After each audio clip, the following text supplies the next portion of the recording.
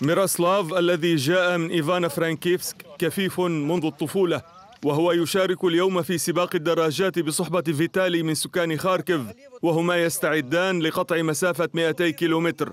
لدى ميرسلاف خبرة خمس سنوات في هذا النوع من السباقات بعكس شريكه. في المنزل لدي دراجتي الخاصة وقد أصبحت شغوفا بهذه الرياضة وأحاول دائما المشاركة حيثما أمكن ذلك. رفيقي يشارك للمرة الأولى لذلك شاركته خبرتي في هذا المجال. أنا معتاد على القيادة بمفردي أما في الدراجة الترادفية فالقيادة أصعب بكثير. ناهيك عن التروس فهي مختلفة تماما. كل شيء مختلف وتحتاج أيضا إلى الاعتماد على شريكك. أنا أمثل عيني التي يرى بهما. وبالنسبة لسفيتلانا من أوديسا وإينا من خاركيف فهذه هي ثالث رحلة مشتركة بالدراجة.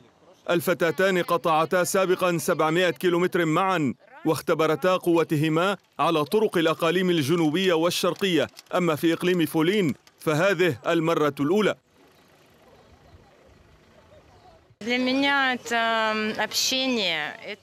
إنها فرصة لي للتواصل مع الآخرين تمنحني الشعور بالثقة. أنا وإينا تمكنا من قهر جبل هوفرلا بفضل هذه الشراكة. لا أجد فرقا بين مشاركة الفتيان أو الفتيات بقيادة الدراجة. المهم هو حصول التوافق النفسي والجسدي بيننا. إنها مسؤولية كبيرة ومرهقة بعض الشيء، لكن من الرائع أن أتمكن من مساعدة فتيات رائعات من أمثال سفيتلانا.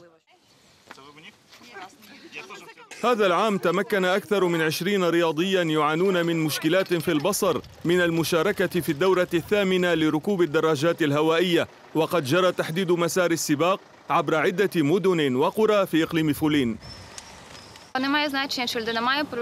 لا يهم إن كان الشخص يعاني من إعاقة بصرية أم لا أو إن كان يبصر أم لا. يمكننا جميعا التفاعل على قدم المساواة. يمكننا الركوب معا. هذا هو الهدف من هذه الفعالية. بالنسبة لنا يتعلق الأمر بالسفر والمغامرات والتواصل وفرصة استكشاف أوكرانيا معا.